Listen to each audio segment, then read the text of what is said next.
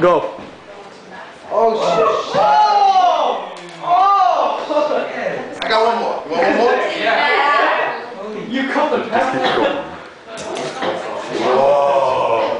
What the? Crank it, baby. Burn the wood right We off. be cranking now.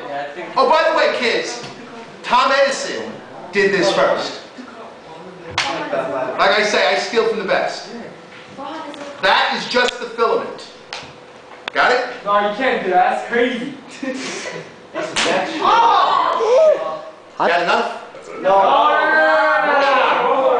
Come on, man. Come on. Come on. Hey. Sure. Let's go around then. Maybe I can get it to glow. Mr. Bradshaw, taking from my demo, actually uses DC. I use AC.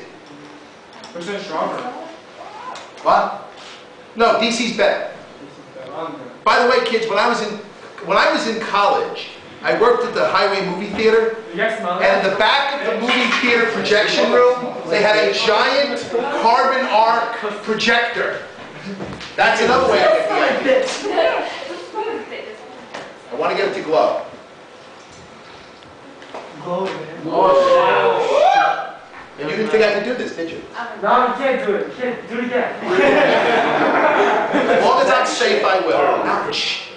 See you do it, man. Come on. Getting burned. It's all Richard's fault. No, it's not Richard's. Yeah, shut the hell up, Ryan. You don't care about this. I'll say it again. Don't try this at home. What? I soak them. If I soak them overnight, they smoke like big clouds of white smoke. By the way, I heard it. I, I'm the first one that I know of that ever did this, and I've seen all sorts of demonstrations in physics class, and this is one of mine. So if anybody tells you, oh my God, my teacher blew up a pencil, you say, what am I demonstrating? I'm demonstrating that the power of the put, through, and the push turns into thermal energy.